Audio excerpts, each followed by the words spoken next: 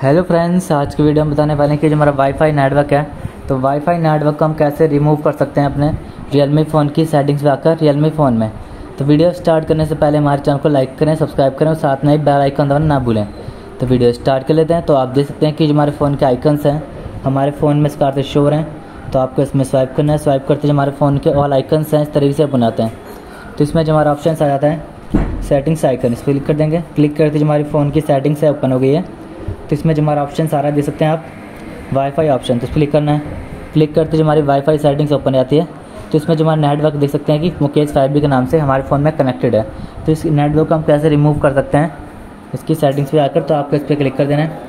Click करते हमारे पास कुछ ऑप्शन आ जाता है, इसमें से हमें क्लिक कर देना है रिमूव दिस नेटवर्क तो इस पर क्लिक करते जो हमारा वाईफाई नेटवर्क है, हमारे फ़ोन में रिमूव हो जाएगा। तो आप इसका यूज़ नहीं कर सकते, क्योंकि हमने इसको रिमूव कर दिया है। तो इस पर यानी फ़ोन की सेटिंग्स पे आकर वाईफाई नेटवर्क को हम रिमूव कर सकते हैं। रियलमी फ़ोन में। तो आपको वीडियो अच्छी लगी तो लाइक करें और सब्सक्राइब करें और साथ में ही बेल आइकन द्वारा ना भूलें। और थैंक यू